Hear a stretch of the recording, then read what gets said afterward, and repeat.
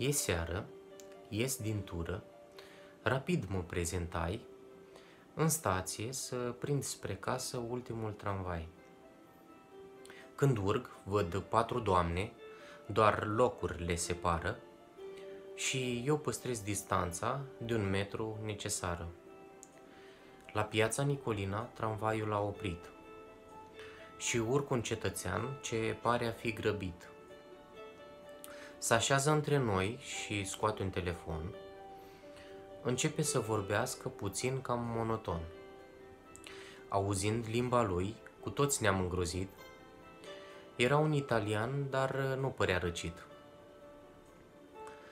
Atenția noastră acum spre el se îndrepta să urmărim simptome, strănut sau detușea.